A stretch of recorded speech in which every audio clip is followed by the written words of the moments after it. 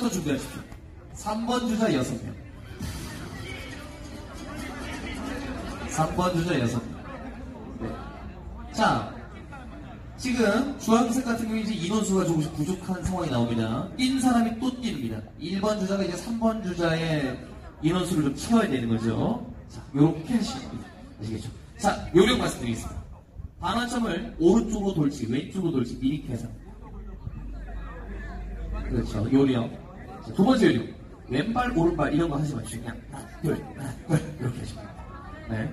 세 번째 요령. 예. 옆 사람과 손을 잡거나 팔짱을 끼거나 어깨 동무하거나 이런 게 좋습니다. 앞 사람과의 간격을 유지하기 위해선 우리 어, 우리 처음에 목 풀기처럼 네 어깨에 주물러 준다 생각하시고 살짝 어깨에 손 올리셔도 되겠습니다. 아시겠죠? 반은 좀 가까워요. 네, 금방입니다. 자, 또 다른 요령. 두 번째 주자는 네, 두 번째 주자는 신발 들어갈지 안 들어갈지 미리 생각해 두십시오.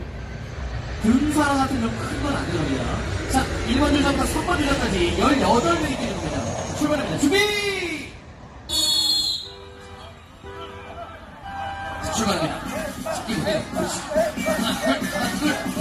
아, 100점이 올리겠습니다. 100점. 자, 2번 주자. 자, 2번 주자 빨리 준비하시죠. 2번 주자. 신발 보고, 신발 보고 빨리. 네. 신발이 잠깐 벗겨지고, 안 벗겨지고 난리 났습니다, 지금. 왼발은 괜찮습니다. 왼발은 어차피 발 씻을 건데, 네. 이번 주, 이번 주 준비되면, 준비되면 바로! 자, 출발! 자, 이번 주자 출발합니다. 자, 이번 주 하나, 둘, 하나, 둘, 하나, 둘, 하나, 둘, 하나, 둘. 아, 주황색팀 역전 됐어요, 역전 됐어요.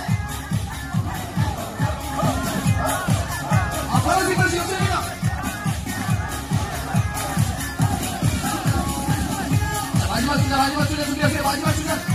마지막 주자요.